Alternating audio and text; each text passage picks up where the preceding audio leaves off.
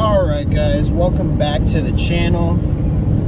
I am on the way to the junkyard to pull a bell housing that I couldn't get last time I went because I didn't have the right tool.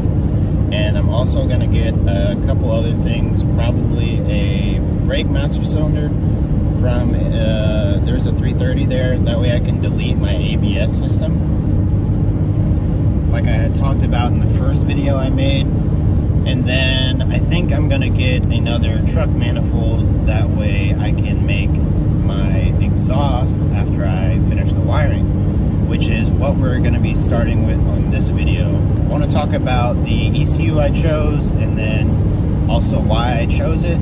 I went with a micro squirt opposed to people usually using the GM ECU that comes with their long block or whatever. So the reason why I went with the micro one, it is super compact.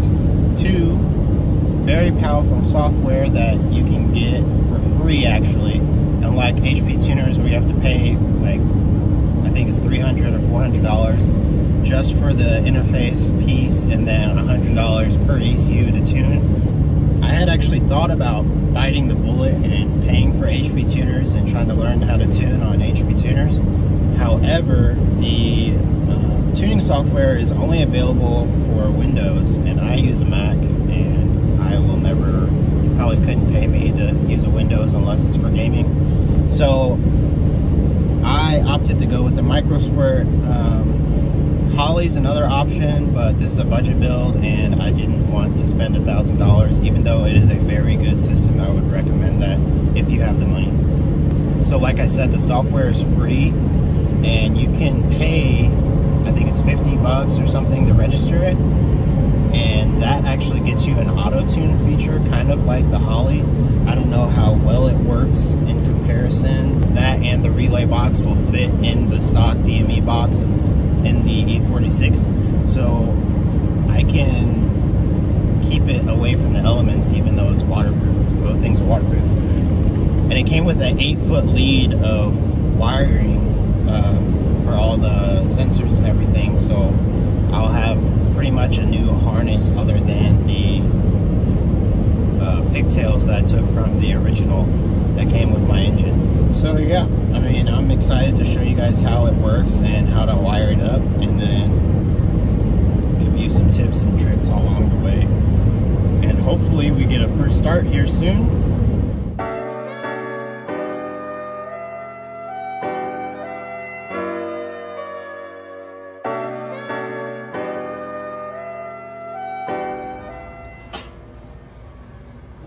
Actually started on this already.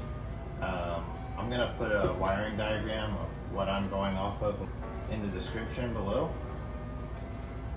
But pretty much what it has here is there's a fuel pump trigger going from the ECU harness, what's called a F-idle, which is just an extra output um, usually for an idle air controller, but you don't need one with the micro squirt.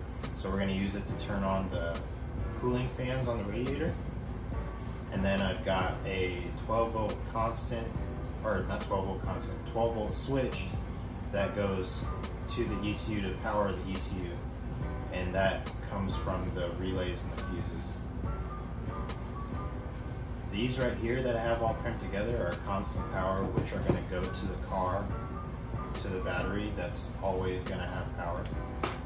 The only ones I have left are a ground for one of these fuel pump, or for one of these relays, and then a switch source that goes to the car, so when I turn the key, it'll turn all the relays on.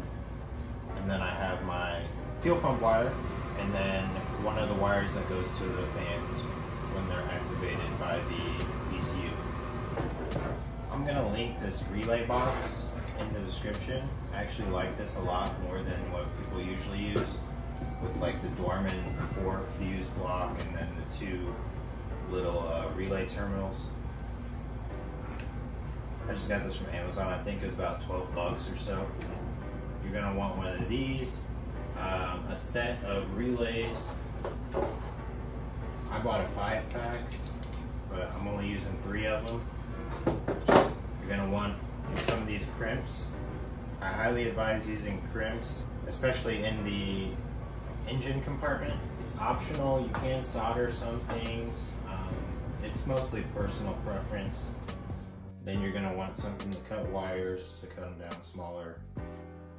And then I've got a set of crimpers that are made for these terminals. These are what we call like wing terminals. I don't know if you can see those on there, but they crimp down and hold the wire and the sleeve for the wire.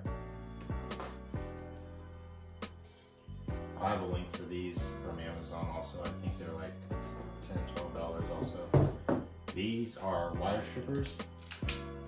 They self-adjust these I just got from Harbor Freight. There's probably better ones out there, but these work for me.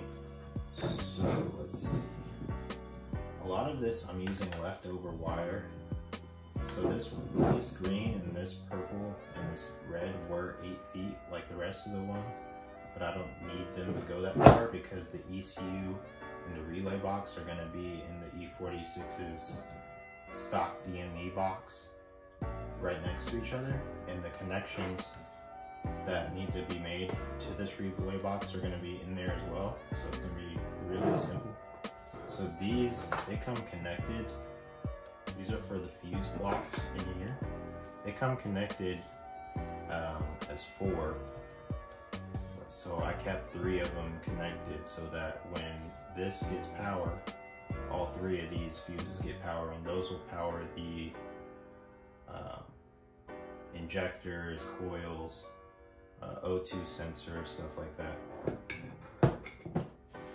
If you don't know how a relay works, pretty much one side is a coil and the other side is a switch. If, when you put power to the coil side, it turns on the switch and then that sends power through to whatever you need to power on. Mostly for high current things like fans, your fuel pump, stuff like that.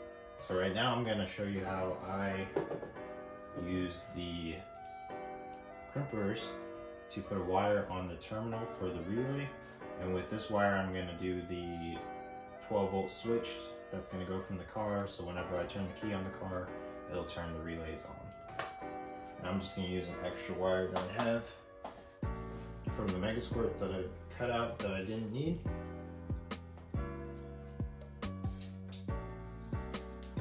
Keeping with the GM theme, I'm gonna use this pink. You just need to kind of educate, make an educated guess on need it. I'm gonna go about the same as this because these are gonna go, these connections are gonna be made in the DME box as well. And I'm gonna show you how to find those and everything too when we get in there. So, let's see. Go from here down to about here where the give about an extra quarter inch or half inch or so. So we'll cut it.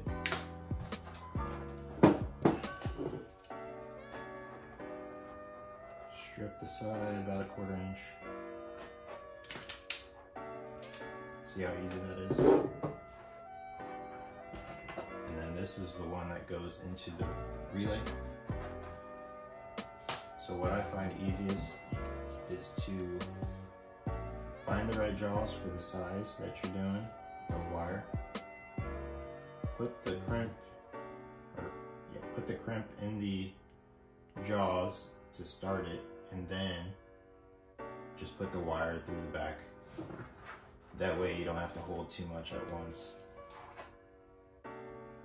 So just insert that, make sure it is past the wings there, and then press.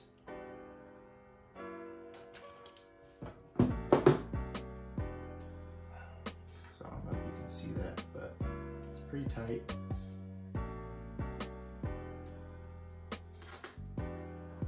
And then for the second one, this one's gonna crimp into the wire itself.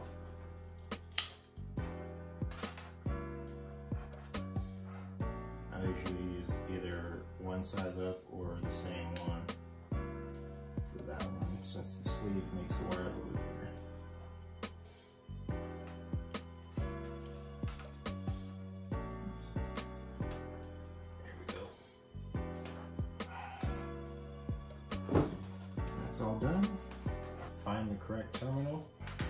So this one right here is my main relay. And this side's gonna be ground and this side's gonna be the um, going from the switch in the car. You just press it in and it should click. There we go. This side should be ready to go and you'll just splice it in with one of these connectors in the car. And like I said, I'll show you how to find which wires go to what when we get there. So I'm gonna finish this and then we will see you back on the next clip. Engine is in the car. For the micro squirt, you only need TPS, coolant sensor, your injectors and your coil packs, obviously. And then a map sensor, your crank signal, and a IAT or MAT. I put it in the manifold because it was easier. And that should get it to start and run.